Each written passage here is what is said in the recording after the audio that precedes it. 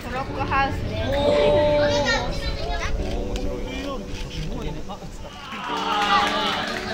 しくお願いします。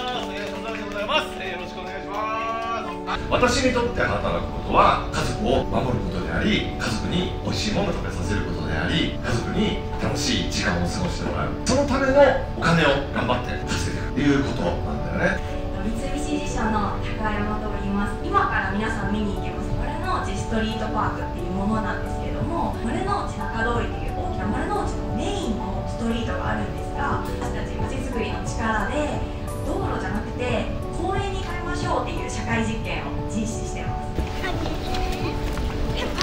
外の空気を感じて頭がリフレッシュして次から頑張ろうみたいな気持ちに丸の内の働いてる人にはなってほしくてこういう場所を用意してます。丸の内高通りってとっても長い通りだからこういう長いテーブルを置いたら通りの長さが強調されるんじゃないかなっていうので設置をしました。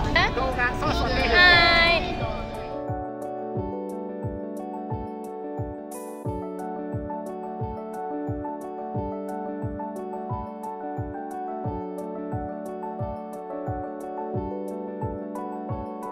が作ったのは、えっと、プールが入ってい。るトロッコハウスです中で遊べるようにしたんだね。工夫したところは？外見愛いよね。いい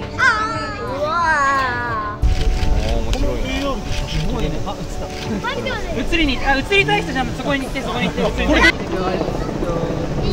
あなん。かめちゃくちゃになっちゃったどん。な写真が撮れてるの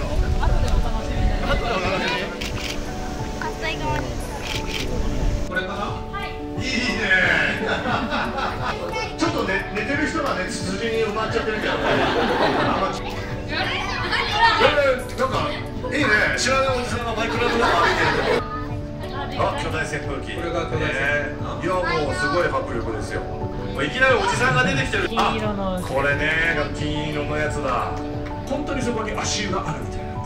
本当にそこにジェットコースターがあるみたいな。これは面白いよね。マイクラで何かを作れるみんなだからできることだと思いますからね。引き続きみんなもクラフターとしての活動頑張ってください。応援してます。はいお疲れ様でした今日皆さんはわずか 1. 点何時間であんな新しいものを作れるっていうのはマインクラフトのおかげなのでどんどんですね新しいものを作ることっていうのに挑戦してもらえたらいいなと思います楽しかったですガラスと金ブロックの家作れたことがまず嬉しかった難しいかなっていうイメージとして最初あったんで直感的な操作で街づくりが簡単にできたりいろんなことが学べる楽しいゲームなんだなっていうふうな印象が変わりました。とても楽しかったです。グループで話し合って協力し合いながら建物を作れたことがとても嬉しかったです。よりなんかポジティブに感じるようにはなりました、はい、普段は一人でやってるところをいろんなこと一緒に協力したり話しながらやってるっていうところが非常にいい機会をいただいたなと思ってます、はい、土井さん映んないけどまあいいか